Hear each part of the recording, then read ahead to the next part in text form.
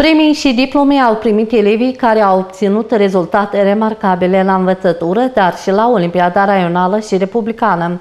Cei mai buni copii din toate instituțiile de învățământ din raionul Glodeni au venit împreună cu profesorii să culeagă laurii muncilor.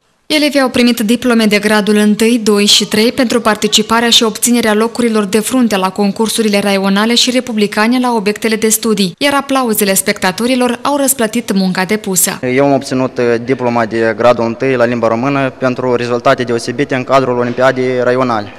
Ce te motivează să ai așa de bune rezultate? Mă motivează faptul că limba română este limba de stat a țării noastre și totodată profesor, profesoara, doamna Chirtocă Valentina și fostul profesor din gimnaziul Petroni actual, domnul Ivanciuc Igor, care mi-a insuflat dragoste față de acest obiect. Mă motivează dorința de a cunoaște cât mai multe despre limba română, de a afla istoria țării, de asemenea studiem la limba română și de a deveni mult mai bună în ceea ce mi se primește bine.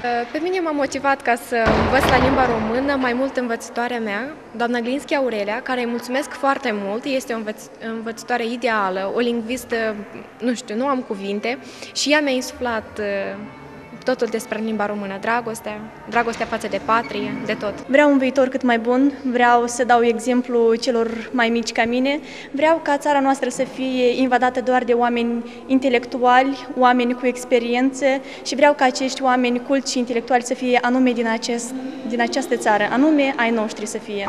Profesorii sunt mândri de rezultatele obținute de elevii lor, deoarece au muncit mult. Deci elevii liceului nostru sunt motivați prin diplome, sunt uh, scoși în fața careului, sunt uh, uh, felicitați de către colegi și profesori și menționați la toate activitățile petrecute în liceul nostru. Mai mult relatăm toată informația, care cum n-ar fi ține de curiculă, prin prisma vieții actuale.